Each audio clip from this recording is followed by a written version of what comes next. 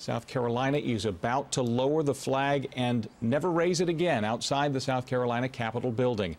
We are expecting the ceremony to be fairly brief. Reports from those covering the story there describe the plan as a short and simple affair. We will look and listen in as the ceremony starts, but some of the background on this. This week, first in the state Senate, then in the state House, lawmakers voted to remove that symbol of the Civil War era South, led by those who also feel it as a symbol of hate.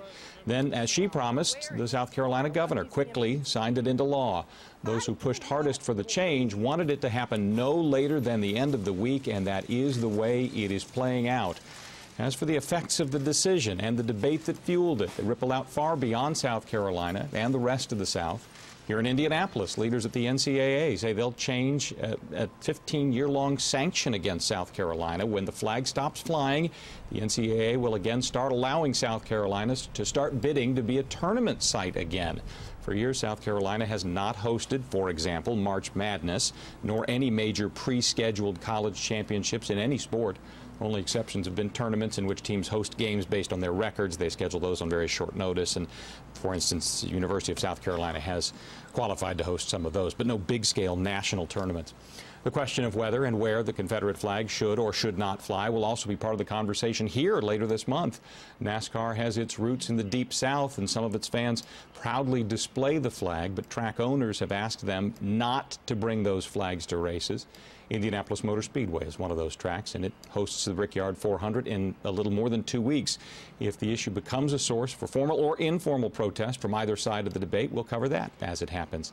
Another live look in on South Carolina as the events are scheduled to start, bringing together people from different sides of the political aisle, but in many cases the same view on where the state stands with its Confederate past and the future for the flag.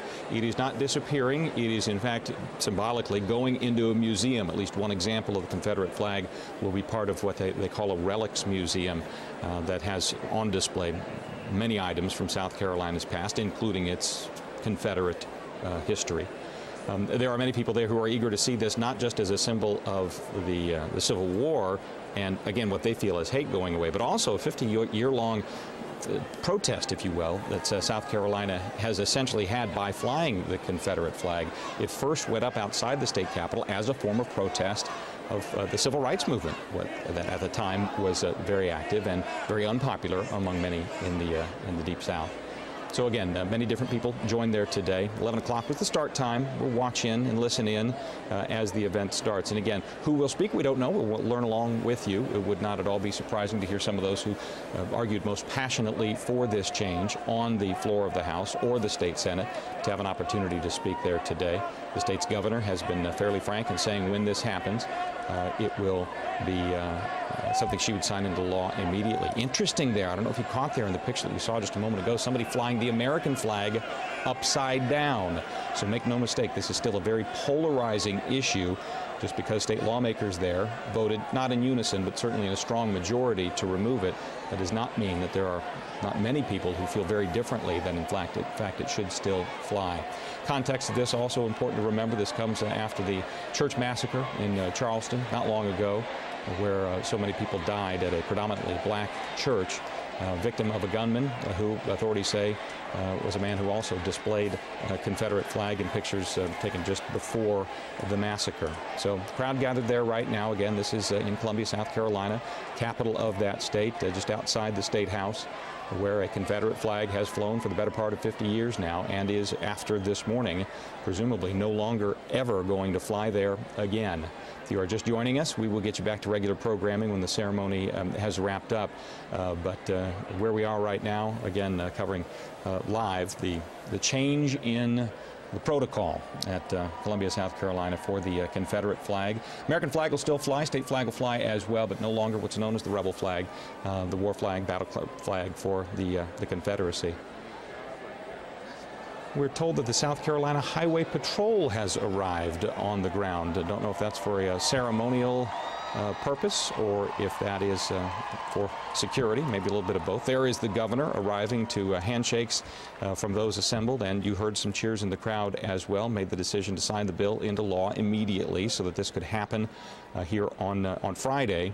And again, it became a matter of some urgency by those who wanted this change made. They did not want it delayed. They did not want it to linger or last long through the month of July. They wanted it done before the end of this week, and with her signature, that was made possible. So that again, the governor of South Carolina, who made the decision, unpopular in some quarters, to sign this quickly and uh, and get this change done. Again, the, the, ceremony may be eh, 10, 15 minutes in length if we're, if we're, if you will, reading the tea leaves correctly from the reports down there. Uh, they don't expect long speeches from many people, uh, though they haven't yet released a full accounting of uh, who will speak there today. In fact, some of those uh, decisions may still be right up to the very last minute uh, ones. As, uh, as we learn more about each of the individual speakers, we'll let you know what we do know, and you'll hear from them some of the things that they wanted to say about this change. Of course, it won't, again, change what flies in terms of the American flag or the, the state flag uh, out there, but the, the rebel flag, the, the, battle flag for the U.S. Confeder or the, uh, the Confederacy, I should say, uh, will no longer be part of the, uh, official display outside the state capitol in South Carolina. Maybe worth mentioning that the NCAA did actually come forward to confirm yesterday what we just reported a couple of minutes ago that uh, once this change happens, uh, commerce will free up there in uh, South Carolina. For years, they have lost out on any opportunity to make much money, if you will, and greet many visitors from uh, out of state because of the many tournaments that the NCAA holds. It has not allowed South Carolina to uh, bid on those games, host those games, and reap the rewards of it. There you see some of the uh, the pictures and signs that people have brought victory. It is coming down. that's one that we can read there about the uh, about the Confederate flag. Again, we've seen other pictures showing people flying American flags upside down, which would appear to be a protest of the decision. Uh, there you see some of the dignitaries who have uh, have come. And there you see a little closer look at that sign I mentioned uh, just a moment ago. Um, politicians uh, were not uh, divided by the aisle in this case. Uh, both the Senate and the House came up with majorities, and the majority of both parties both voted for it. There you see the hashtag take down the flag. Social media played a very big role in where we've gotten to at this point. Uh, as the debate played out over Twitter and played out over Facebook and all the other forms of social media. Uh, there you see, uh, again, part of the ceremony set to start. We'll listen in here for a second. Don't know if the speeches will start immediately. I'll jump back in to give a little more context uh, if and when that becomes appropriate. But let's go ahead and listen uh, to the reaction to this as the ceremony starts in Columbia, South Carolina.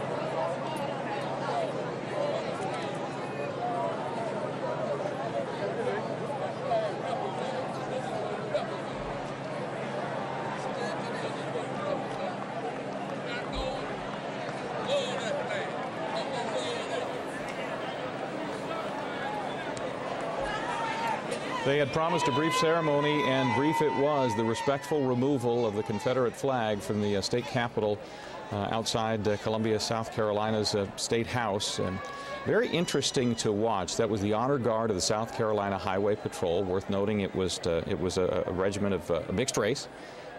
marched in, removed the flag, brought it down on the flagpole, rolled it up, and zip tied it closed to the uh, cheers of USA, USA at one point, and then a rather uh, giddy and, and somewhat spontaneous na na na, hey hey goodbye. Remember the old Steam song that's turned into a, a sporting venue favorite when the uh, the game is no longer in doubt and the home team chants the uh, the uh, vanquished away. That was the chant that you heard uh, from the crowd there. lots of cheers. There may well have been uh, echoes of other opinions that we did not hear, uh, but it seemed that those cheers certainly overwhelmed any uh, protest uh, chants that we heard. So the flag is down. The Confederate flag that flew outside the South Carolina State House uh, no longer flies there, and at least uh, from the decision of lawmakers and the governor there right now, it will never fly there again. Goes to a relic room now. We have more perspective on this story coming up today on 24 Hour News 8 at noon. Also continuing coverage on wishtv.com, and you can see some of it as well on the app that you can find for your smartphone. So we invite you to, to uh, watch and uh, look through all of that. Join the conversation that we have going on Facebook as well uh, and through Twitter too. Uh, we do want to send you back to regular programming, but you can expect more from us on the decision and its effects here in Indiana throughout the day on 24 Hour News 8.